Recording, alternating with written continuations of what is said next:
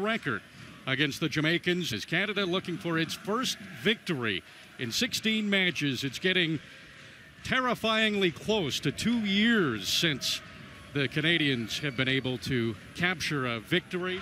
Trying to get back now is Jamaica using some of their speed, trying to create an offensive chance. Oh, redirected by David Edgar. And God gets very lucky there. He's trying to clear the ball. It comes off the bottom of his studs there, and it could have gone into the bottom of the net. Kemar Lawrence. Lawrence does take it, and he scores. Kemar Lawrence puts Jamaica on the board.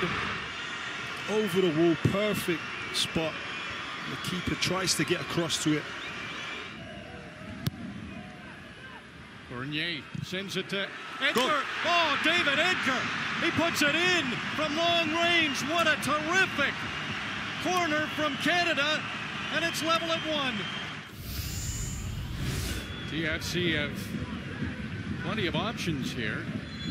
Bekker, Edgar looks like it'll be yes. neither of them an easy goal as it turns out. The deception works, and it's Marcel de Jong Guzman had a good game. He put in a lot of work tonight, covered a lot of ground for his, his country tonight. And there oh, there's your bit of luck.